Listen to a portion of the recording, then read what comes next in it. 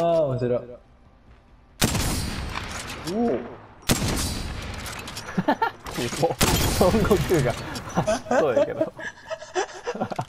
マジ決めあれ？来ないな。あ来たしてた